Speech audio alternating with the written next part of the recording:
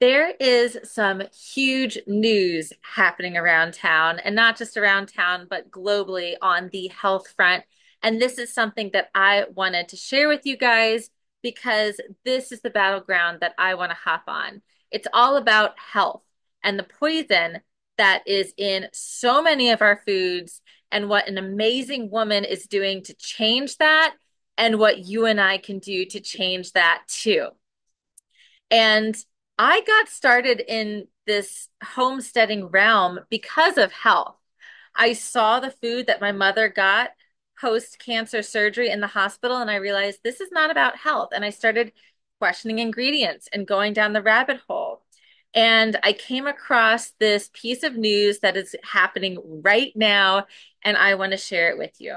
It's Vani Hari, also known as the Food Babe, who is a food activist. She's been a food activist for years and has made incredible progress in holding big companies accountable in what ingredients they're putting uh, in their foods. And right now, we're seeing a huge petition with almost half a million signatures going to Kellogg's, the maker of so many different processed foods but lots of cereals that are targeting children with artificial color and preservatives that are toxic and cause a whole plethora of issues. And we're about to dive into exactly what's going on because you can still take a part of this incredible experience and progress towards demanding change in our food system.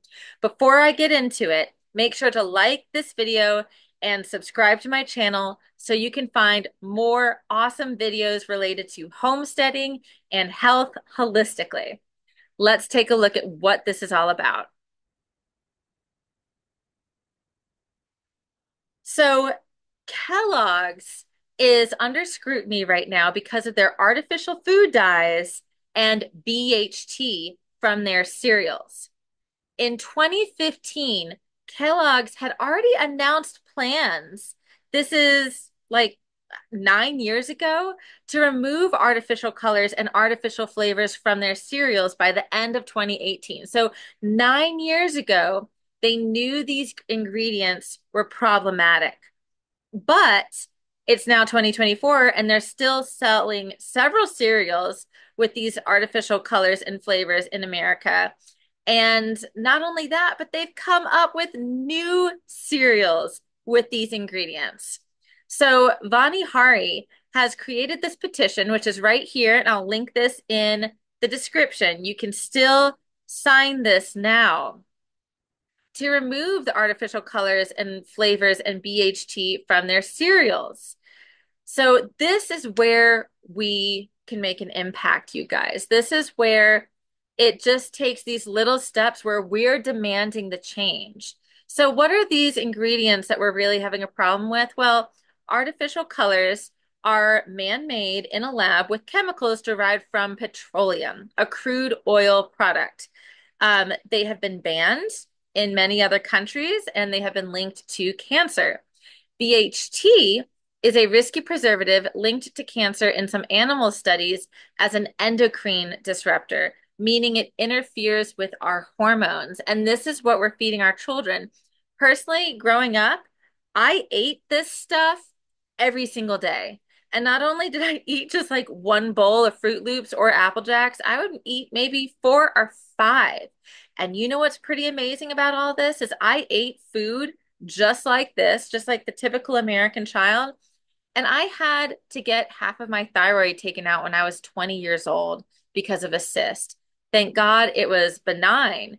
But still, this is not normal. So let's just keep reading to learn a little bit more about these ingredients. Artificial ingre colors derived from petroleum may cause hyperactivity in children and can disrupt the immune system. That's going to affect your ability to battle viruses and other issues that come along.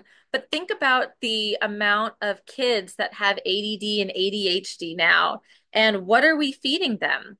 Artificial flavors. This is a chemical made from synthetic ingredients such as crude oil or coal tar. and it's much cheaper than using real food. Artificial flavors can also include MSG, which is monosodium glutamate, and that is specifically designed to make the food more addictive.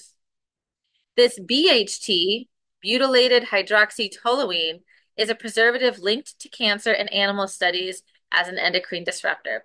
So Vani Hari is not asking for them to completely like reshape their formulas. And you know why? Because all of these Kellogg cereals are free from these ingredients in Europe and Australia, which banned those ingredients. They already have the formula. 10 years ago, nine years ago, they could have made this change. There's no reformulation that needs to happen. It's already there. There's literally nothing different that they need to do. Check out the ingredient list from this American version of Froot Loops versus the Australian version. Granted, some of these ingredients are still not great, but they are significantly better than what's over here. Um, you first have sugar as the number one ingredient, whereas here it's the actual grains. And then you have the synthetic vitamins. You've got soybean oil, vegetable oil. It's not, this has got the vegetable oil. And then you come down to the natural flavors and these colors, which are not in here at all, along with these other synthetic vitamins and minerals. Why? So we are demanding to for them to just give us the same. And this is a nice little uh, timeline of what they've done since 2015. Back in 2015, they said that they were going to remove the artificial colors and flavors by 2018. By end of 2018, they still sold these cereals with the same ingredients. And not only that, but they came out with new products that contained those harsh chemicals. So they know what they're doing. And yet here we are. So this is the letter that is going out. I'm not going to read all of this, but this is going to the CEO of the Kellogg company. But you can just sign it easily at the very top here. It's one click, and then you've added your name. And look at this almost half a million supporters. And not only that, you guys, but this page right here is pretty awesome because it's got a bunch of articles talking about these ingredients. Now, whenever I look at sources of information, you know, I usually skip over blogs like CBS News and NPR because those could be biased too, but there's plenty of PubMed articles. Here's one from the EWG talking about synthetic ingredients and natural flavors and natural flavors and artificial flavors. This is a study about BHT in rats, which showed that there was a specifically a development of tumors because of the BHT in rats. Same thing with this one, lung tumors. And like I said, you can find a bunch more resources that are actually peer-reviewed articles at the bottom of this link. So I'm going to share this. And I know this is not specifically about growing food, but this is because when you start growing food, there's usually a reason why. It could be because you want a little bit more self-sufficiency, you want a little bit of independence from the food system. But when I talk to my one-on-one clients, almost every single one tells me that they do not trust the food at the grocery. They want to know what's in their food. And this is what it's about. It's ingredient label reading. I'd love to know your thoughts. I'd love for you to follow the link below and join this petition, join this movement. We can be the boots on the ground. You know, I think about the American Revolution and what just individual citizens had to step up to in order to make change. And we are facing a whole nother beast of power and control with some of these food organizations now than perhaps what they were facing back then. I don't even know.